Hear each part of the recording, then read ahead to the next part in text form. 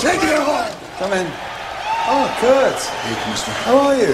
Hey, Tajiri, awesome match. I want to say congratulations. I'm sure he'd be very thankful you said that. Yes, that's. it. Look, now I know you're an Olympic gold medalist. You have this tremendous fighting spirit, but I mean, you've just been attacked by Hugh Morrus, and you know, this week, Sunday, you're facing Stone Cold Steve Austin at SummerSlam for the WWF Championship. I mean, you're not at 100. Do you really need to face Rob Van Dam in a hardcore championship match tonight? I mean, nobody, and I mean nobody will think any the less of you if you don't. You could take the night off, take it easy.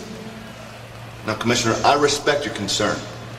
But there's one thing that you don't understand, that you can't quite possibly understand. What's that? I'm an American. And Americans don't back down from any challenges. No offense. I mean, let me tell you a little story about Benjamin Franklin. Now, Ben wasn't in the best of shape, but.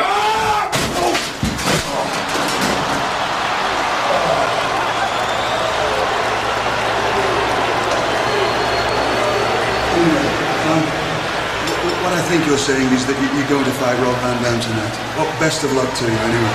Thank you. All right, Commissioner.